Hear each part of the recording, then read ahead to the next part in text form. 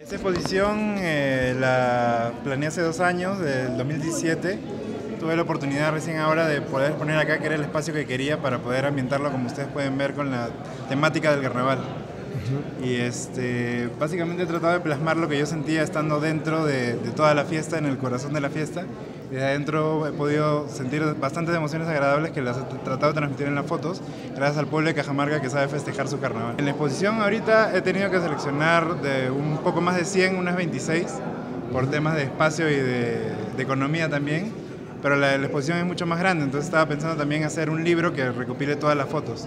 Sí, me enteré de la muerte de Víctor Campos, justamente había ido a esta exposición en el Quinde de, de, de, cosas de carnaval para un poco para inspirarme y vi bastante de su obra. Eh, me, me, duele un poco que algunos artistas sean eh, homenajeados después de muertos porque no pueden disfrutar de, la, de lo, lo bien que se siente que su trabajo sea reconocido.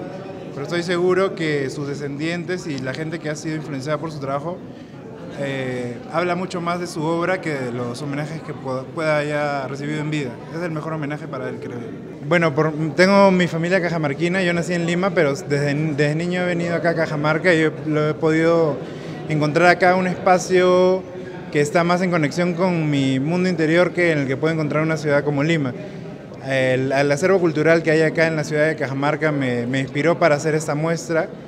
Mi primo Richard Vigo, que es el que ha organizado la, la muestra como gestor cultural un poco me apoyó para, para, realizar la muestra y entre los dos pudimos lograr registrar todas estas fotografías. Es muy difícil porque bastantes me gustan, pero la que más me gusta es la que sale en el póster oficial que es un, un, niño con sombrero tradicional cajamarquino y su poncho que está mirando a la cámara. Esa me gusta bastante porque cerca de la Plaza de Armas, como se puede ver la iglesia atrás, eh, estaba pasando las comparsas y el niño estaba un poco solo y justo cuando me miró a, a la cámara disparé, hice unos tres disparos pero esa es la, que sal, la única que salió así bien enfocada.